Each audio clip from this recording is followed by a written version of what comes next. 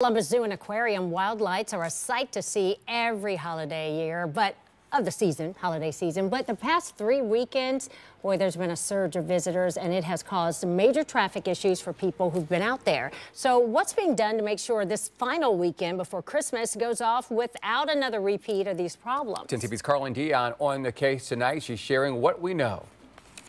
As visitors make their way in to check out the Wildlights tonight, we're told a Delaware County Sheriff's deputy will be on site to help with traffic flow, as the event has drawn in more than 20,000 visitors in a single day several times this month. On Fridays and Saturdays, Wildlights happens here from 5 p.m. to 10 p.m. According to zoo officials, they don't have the legal power to direct traffic outside of the zoo parking lot. We're told Delaware County notified them back in November that they would not be able to provide special duty officers to handle traffic. However, the zoo does say they are looking into if hiring a private company to help with traffic flow on Powell Road and Riverside Drive might be a legal option to look into. We spoke with one visitor who says he came here last weekend with his family and he waited in traffic for two hours before he was able to get out. There, there was a lot of things going on. We almost got hit twice. Somebody's car overheated.